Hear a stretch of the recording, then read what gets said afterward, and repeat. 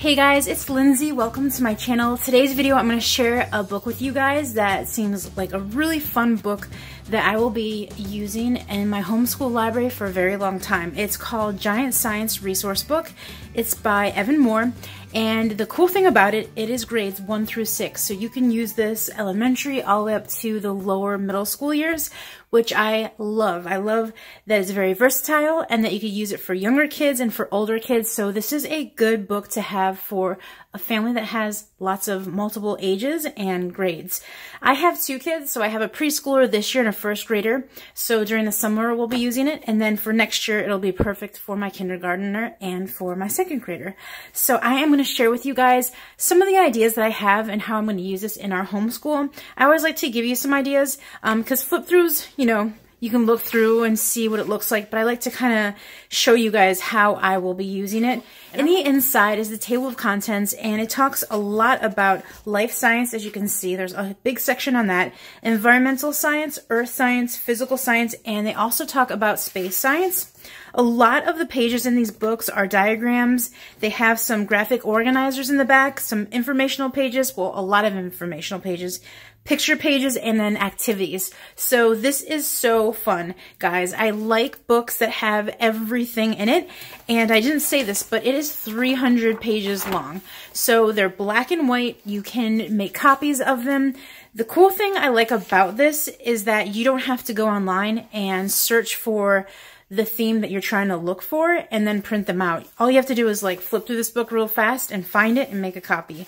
So all of these life science, they have um, plants and birds and fish. You will see at the top of each corner, it'll be labeled plants or it will be labeled fish. So it's very easy to like kind of skim through and then like find what you're trying to look for. So I will do a quick flip through for you guys, to tell you guys how I will be using it in our homeschool and try to go through it quickly because it is very big. It is a big, giant science resource book. So first they're starting off with the plants and they talk about trees, flowers, and vines and roots. So from the roots up, um, they also have a little science project here, kind of sharing how the stem works, and they have a little paragraph talking about it, different kinds of stems, they have an informational page and talking about the shapes.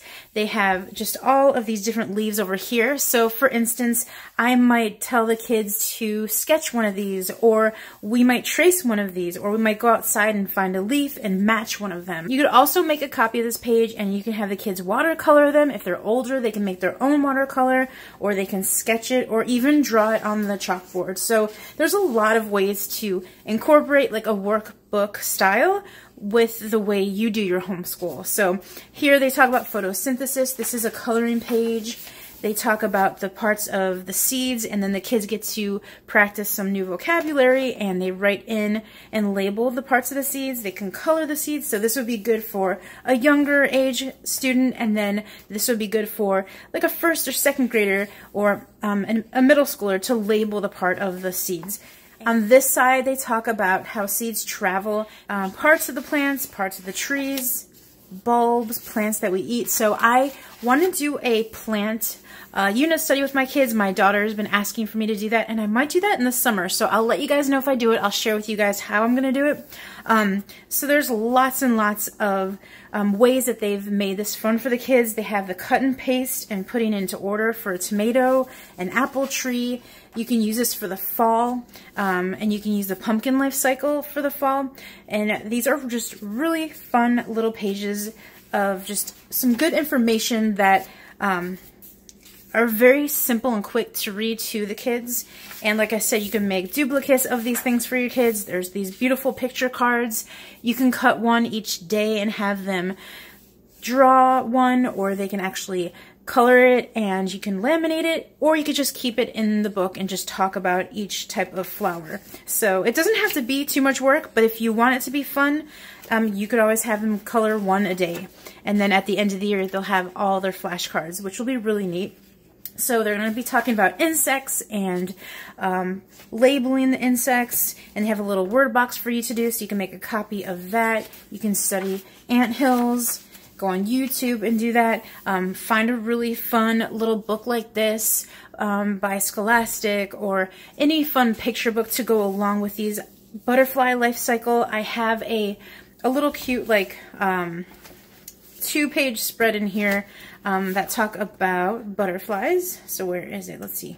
From caterpillar to butterfly. So I might display this outside um, in our little homeschool area. So when they come downstairs to do our unit study, um, we can do the cut and paste here. And then I have a butterfly garden um, growing kit that I want to do. So it's cool to have everything set up for me. I just have to make copies of it and they could um, label them and everything like that. So they talk about butterflies and the differences between them and moths. And they have also the cards. So these are just lots of land and ocean, scallops and oysters and everything like that, arthropods, amphibians. So you can see they have lots of cards, lots of cut and paste, and then they have just a lot of information that is just really simple and good. And I like the black and white because, um, for instance, the kids can, can talk about a bird. You can read books about birds. You can study them outside. They show you like the skeleton of a bird talking about feathers. There's so many things that you can do along with this book. I like how they have little activities where they have the little date and the time and what you saw outside when they're bird watching. My neighbor just put out a bird um, a bird feeder, so it'll be fun to kind of do this little activity and you could put in your science notebook. Here's another diagram of what's inside of an egg. And then there's like a little writing form and you cut this out and you could put your name, the title, and then you paste it on a writing paper. So there's lots of fun little ideas, lots of cycles, uh, talking about fish and mammals. I'm going to try to go through this quickly, but I just want to show you it's beautiful because it's black and white. So it's very simple. So if your kids want to look at it and draw something on a chalkboard, or like I said, do a watercolor painting, or they just want to sketch it out, it's a lot easier to sketch out, I think, when you're looking at something black and white, for instance. Um, there's so many things that you can do with this book. My kids are going to love the wolf cycle. They love wolf dogs. Uh, they call them wolf dogs. I know they're not called wolf dogs, but they're going to love this because that'd be a fun little thing to do.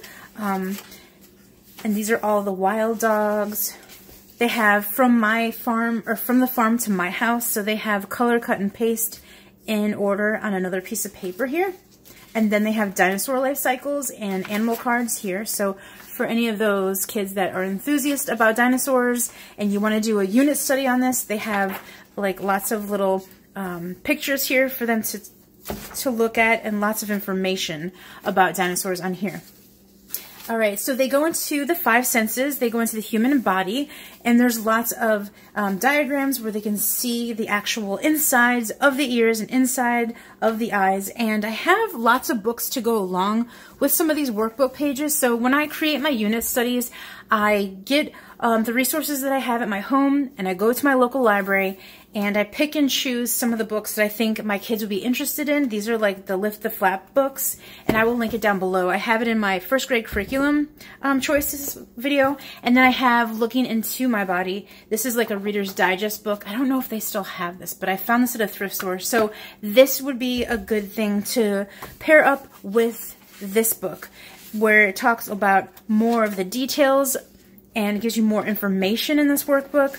Um, like you, like I said, you can flip it open and just read it to your kids, and then you can make copies of some of these. So they're talking about the outer body, the skeletal system, the muscular system. This is definitely um, something that is on my first grader's level. When she goes into second grade, it'll be great, and then my son will love it because he really is interested in um, the body, the human body. This is the body puzzle that they have, which I thought was so cool, the human body. So they get to put this together, and then they might be able to trace their own body, which would be fun. I remember doing when I was little.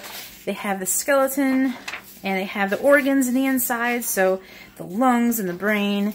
Super fun. And so that was it for the human body. Um, they also have the environmental science with habitats and endangered species and recycling. So we're studying ancient um, civilization for the past year or so, and we'll probably be studying it in the summer as well. Um, so the things that we study and the places we study about, we'll be able to, you know, use some of these and maybe talk about these when we're listening to some of the Story of the World books. Here is Earth Science. This one gives a little bit more details on some of the landforms and it gives some facts over here. And then physical science, they talk about magnets and electricity, lights and sound, and simple machines. So this is just like the whole entire book. It's 300 pages long. So I think that this is a great way to start. It's a good foundation to have if you're a new homeschooler or even if you are a homeschooler that has lots of kids with multiple ages, this is a great book because it is grades one through six. And so you can use all of these um, activities and sheets for your kids level and make it work for the whole entire family. So I hope you guys enjoyed this little flip through and got some ideas while I was talking through it. Thank you guys so much for watching. I am an Evan-Moor affiliate, so I did partner up with them because they are such a good company. I've had a lot of Evan-Moor in the past. When I first started homeschooling, I still do.